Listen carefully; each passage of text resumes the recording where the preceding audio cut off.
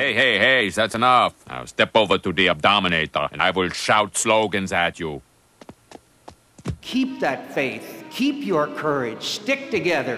Stay strong. Do not yield. Stand up. We're Americans and we'll never surrender. What must a president believe about us? You look like a homosexual. About America? Maybe you all are homosexuals. That she is worth protecting? Let my muscles hug you. That liberty is priceless. It cost $80 million. Our people honorable. I see your daughter as one of those whale-kissing, Dukakis-hugging moon maidens. Our future prosperous, remarkable, and free. Someone please give me a job.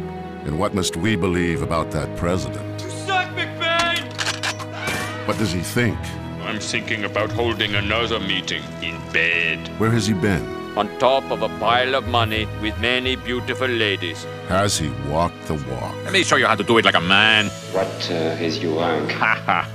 I play many characters. Officer Nick Vengeance, Sergeant Murder.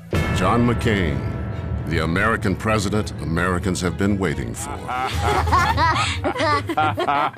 Laughing time is over.